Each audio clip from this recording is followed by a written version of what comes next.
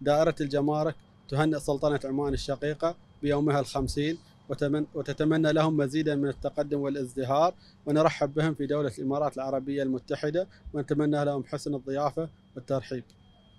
الله الرحمن الرحيم. وصلت المركز الدارة. حسن استقبلوني بحسن الاستقبال صراحة آه، بكل الحفاوة وقمت بعد الإجراءات الفحص الاحترازية.